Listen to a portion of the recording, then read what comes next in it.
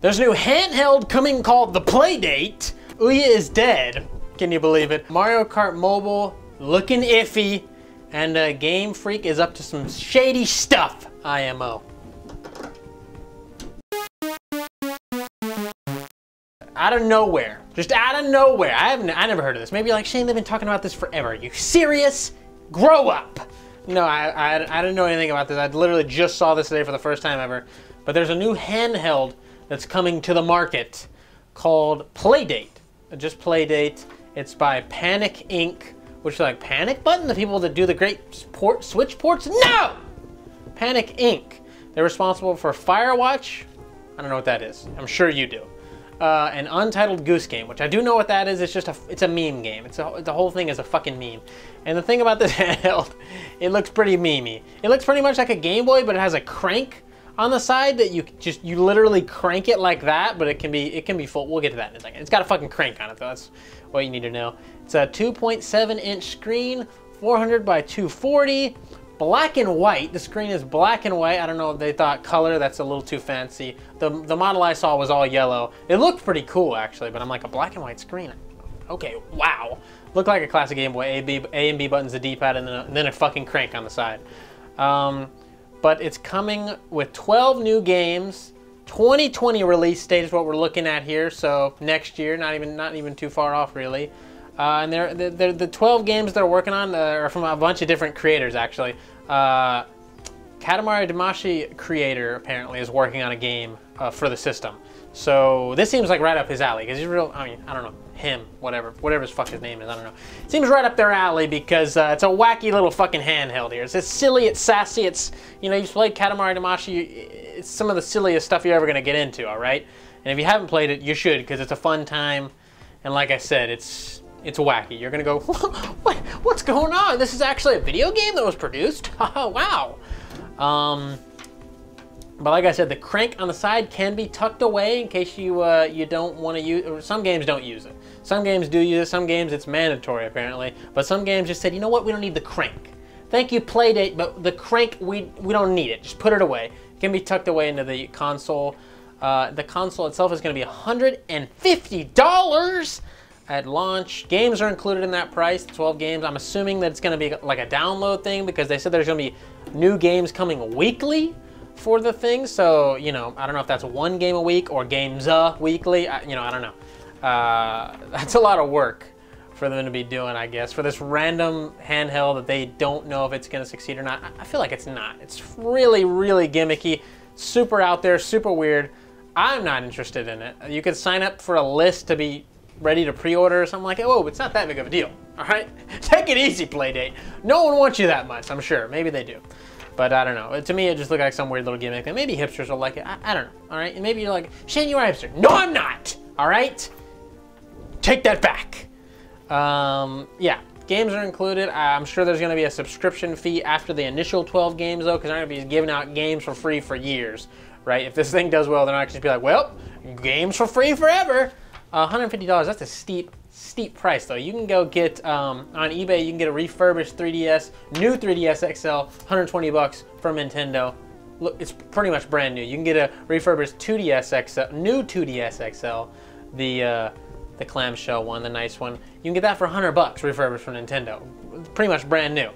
Uh, I saw Spawnwave break one down, and he was like, "This thing's fucking brand new." So there you go, 100 bucks, or you can pay 150 bucks for your Playdate even on top of that, you can get a new 2DS XL. I think they're like 150 bucks new at the store, right? So uh, same price as this. I don't know. That's a terrible price. If this thing was like 80 bucks, maybe I'd give it a mess around with it or something. Probably still not, but 150 bucks, hell no! Playdate, but hey, check it out. It's silly, it's sassy, it's weird. Black and white. If we got the creator Katamari Damacy working on something that might be interesting, apparently a lot of these games are going to be exclusive to the Playdate. So uh, if you do want to play them, you're going to have to pony up that dough, buddy. Uh, maybe they'll give us some other colors too besides yellow. Uh, that's yet to be seen though. I, I, would imagine they would, right? And it's like a fun little wacky thing. So I'm sure they will. Again, regardless, I'm not interested. Are you? Maybe you are. Maybe you're like, Shane, that looks incredible. That's going to revolutionize gaming. The crank is where it's at. And uh, in some other wacky device news, the Ouya is dead. It dies next month.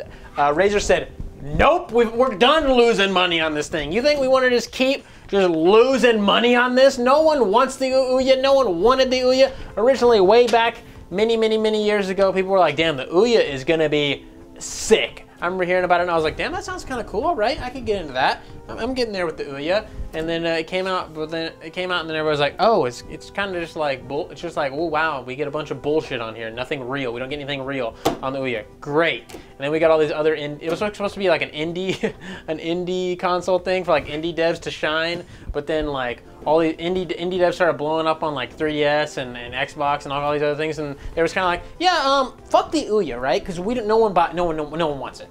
So uh, who gives a shit? The Ouya is dead, right? I mean, like, the, the, no one cares. All right. Uh, thank God. I can't believe Razer's been been uh, pushing it this long. I thought it was already dead. Honestly, I really did. When I heard this, I was like, wait, what? What do you mean the Ouya's dead next month? I thought it what? They they make those still? It's a miracle. Somehow it survived this long. I don't survived. I don't know. Uh, they're putting it out of its misery. That's for damn sure.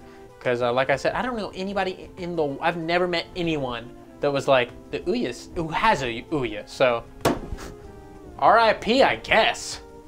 The beta for Mario Kart Mobile is out, and uh, I'm hearing a lot of spicy stuff. I'm not in the beta. I didn't. I didn't even try to get access to the beta. I don't give a shit about cell phone games.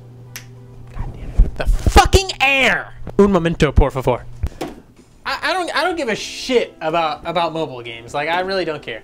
It, it, when Mario Kart Mobile comes out, Mario Kart Tour, sorry. Uh, when that comes out, I will download it and I'll fuck around with it, but I probably probably will play it a handful of times and be done with it. I have my Switch with me when I'm on the go, traveling and stuff. If I'm ever out and about, I don't I don't ever have enough free time to play a mobile game, so I don't really care. Uh, but a lot of people are upset about the beta. Apparently, it's uh, locked to portrait mode. Apparently, you can't play it in landscape, which portrait mode is vertical for if you didn't know the terminology, it's vertical. It's when you're playing, you got to play on your phone like this, where you play with one finger, instead of turning it sideways and like feeling more natural like a controller.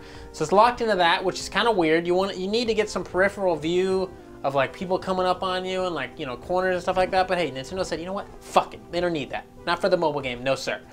Um, the, lap, the races are two laps uh, instead of the traditional three. Uh, thumb control, like I said, you, you uh, what I saw, you just use one thumb and you literally just move the character like this. And acceleration is done all on its own. Everything is like done on its own, apparently. And you're just doing this, and you tap for the uh, for the items, which it looks all right. It looks all right. I mean, like what? I don't know how intricate you want the controls to be on a mobile game. Ah, oh god. But it looks like it works. It looks like that works. It looks like okay, I get it. That's great. All right. Um, but, the, but where we get into the real trouble here, what people are really upset about is the uh, the microtransactions in the game. Uh, everything is unlockable. It comes with a lot. There's like a lot of characters, a lot of vehicles, a lot of everything. But you gotta unlock everything by playing the game, and you get random unlocks of like it's literally just, you could get like a shitty character, a shitty cart, or shitty whatever, or you can get like a really super ultra rare. You know how games do that, or, or like even Pokemon cards or whatever. You're like, oh, I got the ultra secret rare. Wow. It's like one of those where you, you, it looks like you're gonna have to put a lot of uh, either time or more than likely most people money into this to get a good character. And apparently, the characters uh, and the stats and all that stuff are dependent on like how rare it is. You get a super rare, you have like a really awesome character, and you can just outpace everybody else. Apparently, from what I hear, like I said, I haven't played this. I'm not gonna play the beta. I might play it when it actually comes out, but I got no interest in this right now. I'm just telling you what people are pissed about. But uh, that does sound pretty shitty. If you you got to get the ultra rare to have any type of chance against other people with ultra rare stuff, that's super incentivizing people to throw money at this thing, right? Especially kids. Kids got you know Mario Kart on mobile. That's to be a huge hit for uh, for children, for everybody, right? I feel like this game is to do amazing for Nintendo because it's li it literally looks like Mario Kart on a cell phone. Like it's not that dumbed down uh, as far as I've seen. Some people are saying it's pretty dumbed down, but from what I've seen, looks pretty on point. But uh, that is shitty. That's the unlockables need to be purely cosmetic. Nintendo, have we not gotten to the point in gaming where we realize like play to win is shitty and we don't do that anymore? Like Nintendo, you uh, above anybody else, you should know better than this, right? Like Mario Run was like, oh, you pay for the game, you own the game. Why can't Mario Kart Tour be like that? Oh, you pay for the game, you own the game. Make us pay like 15 bucks for it or something, whatever. And then we own it. And then we can unlock everything within the game and don't have to put money into it, whatever, blah, blah, blah. But we get into another microtransaction that is uh, really terrible. Apparently, you're, you can't race all day. All right, you know how other mobile games do, like Candy Crush and whatever. You got to take breaks, and it's like you could pay to keep playing, or you could take a break for like an hour, or whatever the fuck they do in mobile games. You know what I'm talking about. Uh, apparently, in Mario Kart Tour, your character gets tired of racing after just a couple races, maybe a few races. I'm not sure. I don't really remember that specifically, but they do get tired very quickly, uh, and you got to let them rest to to keep playing. Or you can throw some money at that bad boy and get them out there racing. I don't know what you do. I don't know what they're. If you put money in the game, it just shows them like snort coke or drink a Red Bull or I don't know what they do, but they're like, Luigi's ready to go, all right? You gave us a dollar, he is ready to rip, all right? It's like a behind the scenes type of thing. I don't know what, I don't know what's going on there, all right? Uh, I mean, sure, you, uh, sure, real life racers get tired, but NASCAR, they go for hours, right? They go for hours and hours. They shit themselves and they piss themselves in NASCAR. And you telling me Luigi can't go 10 laps without taking a break? Jesus Christ. Grow up.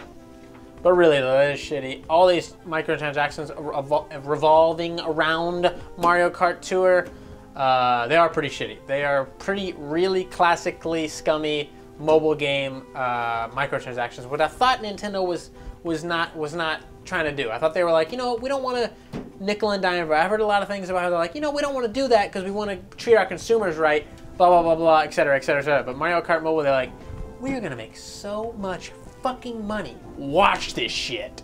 So for this one, they threw the ethics out the window. They said, you know what? Fuck it. We're, we're cashing in on Mario Kart.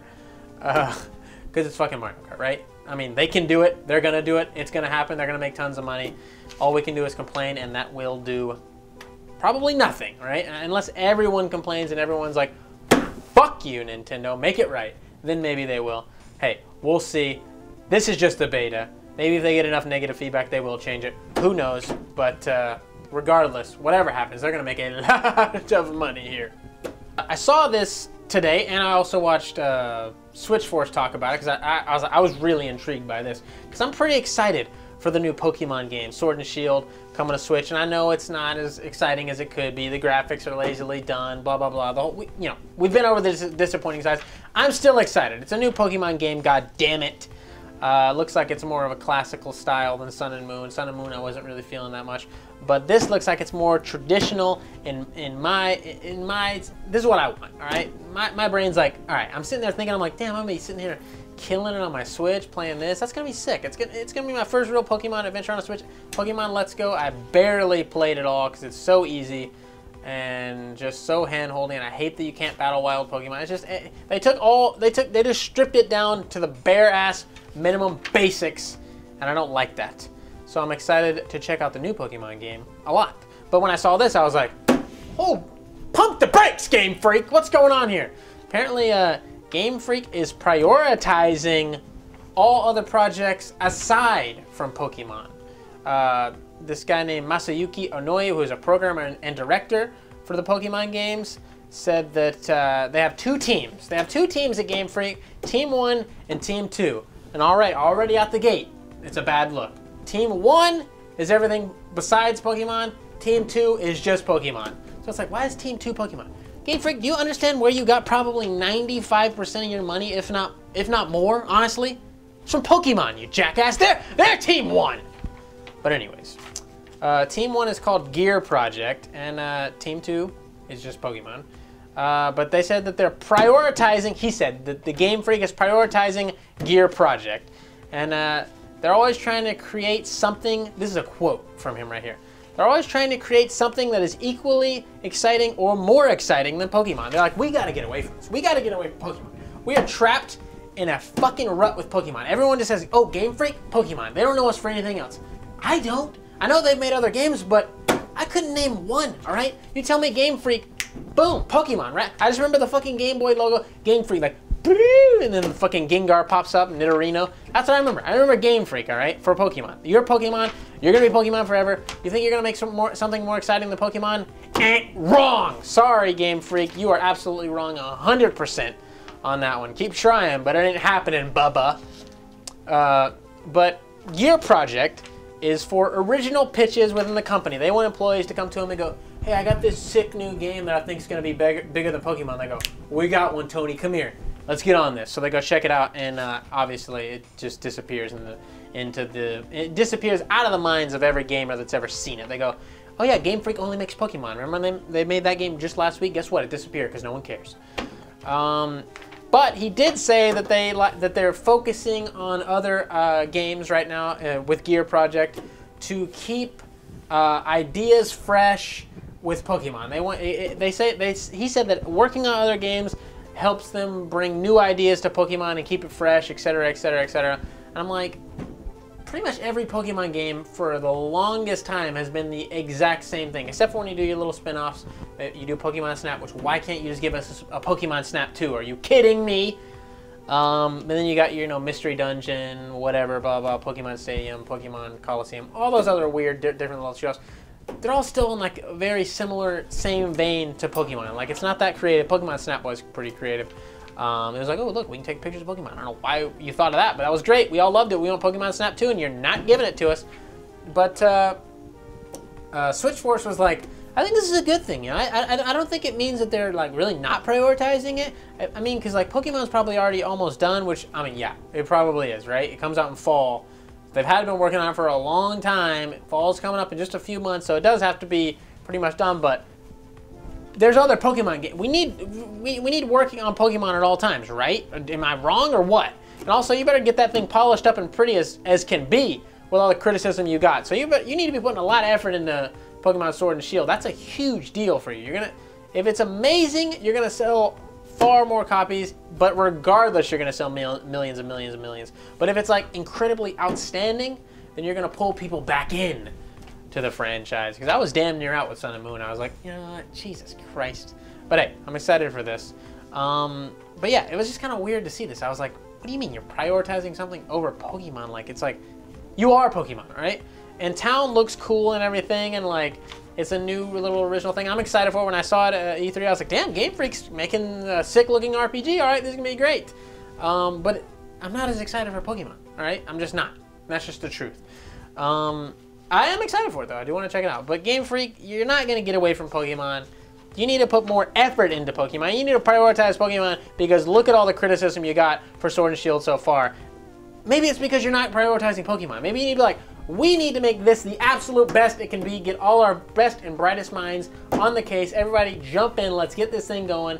Because that does not look like what you did with Sword and Shield, honestly. It looks, it looks pretty half-assed for what it could be on the Switch. Like look what look what Zelda became on the Switch with Breath of the Wild. Look what Mario became on the Switch with Mario Odyssey, uh, etc. Et you know, th these games got bigger, more expansive, more more just great across the board. Breath of the Wild is like went, Zelda went way out of its comfort zone on that one. You're like Shane, it's like a it's like a remake of the first one. Don't give me that cute shit, all right? Don't do it. It went way out of its comfort zone. Stop it. Uh, so do that with Pokemon, right? that prioritize Pokemon gave us this fucking huge, wild, open world Pokemon game that is just out there, looks beautiful, plays great, etc., etc. Got all the classic battling mechanics that we like, obviously for online, all that stuff. Give us something like that. Prioritize Pokemon and make way more money like you would. If you made us a Pokemon game and eh, eh, that was as revolutionary as Breath of the Wild, you would pull so many new people in and so many people that were over Pokemon back in because that would be incredible. Get your head in the fucking game, Game Freak, is what I'm trying to say here. Get your head in the game and realize that Pokemon is all you're ever gonna be. Sorry! But if you wanna be like this badass motherfucker on screen right here, hit up our merch store, fugamecrue.bigcartel.com. We got shirts, we got mugs, we got all that fun stuff. Uh, but if you want to support the channel and you don't want to buy merch, we got a Patreon or a direct PayPal link in the description below, patreon.com slash FUgameCrue For as low as a dollar much, you can help us out a lot. We got a $25 tier where we send a box of memes, couple spots open on that uh, to send out some fun and wacky random stuff to you guys. $10 tier with a letter and a Polaroid, etc., etc. You know, just go check out the links, all right? My channel's down there too, our skateboarding channel, everything else. Go check it out. i love you for it, and I'll see you later. So I want to say thank you to your loyalty. Thank you for your support. My foot hurts!